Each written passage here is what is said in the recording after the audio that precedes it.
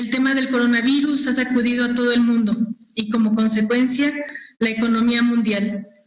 Es por ello y aprovechando la relación histórica que desde hace siglos mantiene México y España, que aplaudo los esfuerzos por llevar a cabo esta reunión bilateral que sin duda dará los mejores resultados, no solamente para hacer frente a la pandemia, sino también servirá para estrechar aún más los lazos entre los ciudadanos de las dos naciones. Lo que une a todos es un complejo escenario económico. De acuerdo al Fondo Monetario Internacional, la caída en el crecimiento mundial en este año de 2020 será del orden del menos 4.9% y cuyos efectos se reflejarán en la pérdida de más de 300 millones de empleos en el mundo. Primero, mayor resiliencia hacia dentro de la economía y segundo, dinamizar las relaciones y redes comerciales y económicas hacia afuera.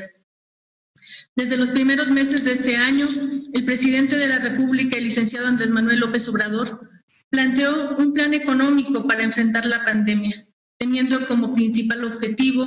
implementar medidas que permitan crear un Estado incluyente y más solidario, basándose en la reactivación económica desde abajo, en la atención de los sectores más vulnerables, otorgando 4 millones de créditos a las micro, pequeñas y medianas empresas,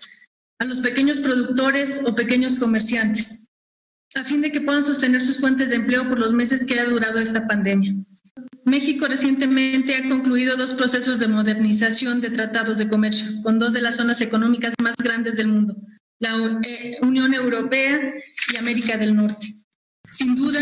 la relación bilateral de México con España nos permitirá crear grandes lazos y contribuir a que se refuerce el comercio en las relaciones económicas y comerciales entre ambos países.